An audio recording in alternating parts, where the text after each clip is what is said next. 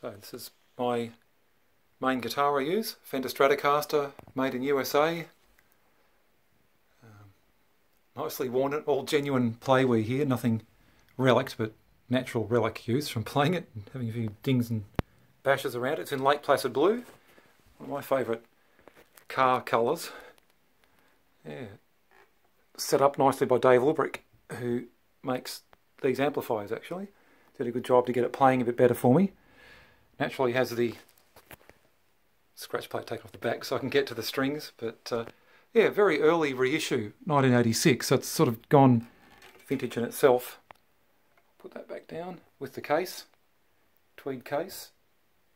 The tweed doesn't age real well, yeah, but anyway, it works. Well, unbroken latch. Uh, but yeah, great guitar.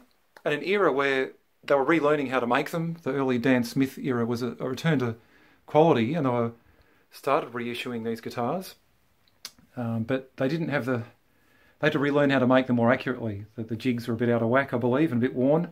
So this era, 86, a small group of people were only putting out a few guitars per week. It was basically they, they would go on to become the custom shops. This is like a pre-custom shop custom guitar. So very accurately done. I've played actual early 60s Stratocasters and custom shop reissues and this is as good if not better than any of the ones I've played. Did a little bit of work on frets done to get it a bit smoother playing, just a bit of fret dressing.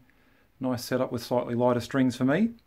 It's got all the bits and bobs with it that I need, the whammy bar, tremolo bar, um, and all the other bits and pieces in the case, but a great playing guitar. Sounds good. I should run it through that, my 66 Pro Reverb, but equally sounds good through these Ulbrich amps, a little one, big one. I hope you enjoyed a quick look at this guitar.